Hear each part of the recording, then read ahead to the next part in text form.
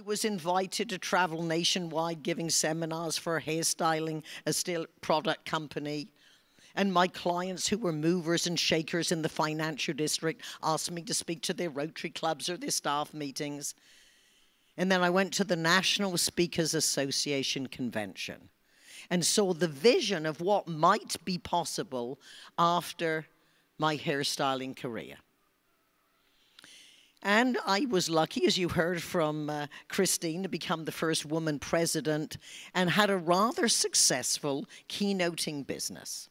Fast forward to the year 2000, and 60 Minutes attended five days of the National Speakers Association convention. And they asked me a question that perhaps you're wondering. Patricia, you used to be a hairstylist, now you're a speaker. There's got to be a big difference.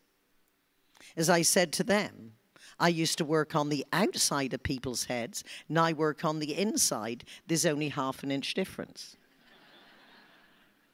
That line got me on 60 Minutes. That half inch has made me millions of dollars. Not all in the same year.